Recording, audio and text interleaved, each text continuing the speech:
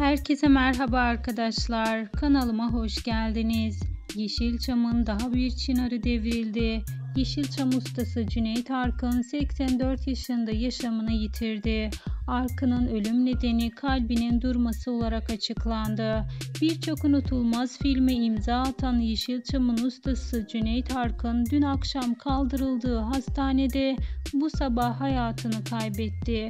Hastaneden açıklama yapıldı. İşte sizler için bu açıklamanı takdim ediyoruz.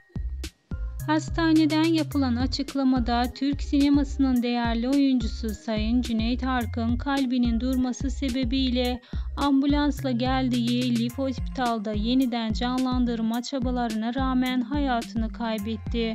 Türk sinemasının dev oyuncusu kaybetmenin üzüntüsü içindeyiz. Cüneyt Arkın'ın ailesine ve tüm sevenlerine başsağlığı diliyoruz. Mekanı cennet olsun.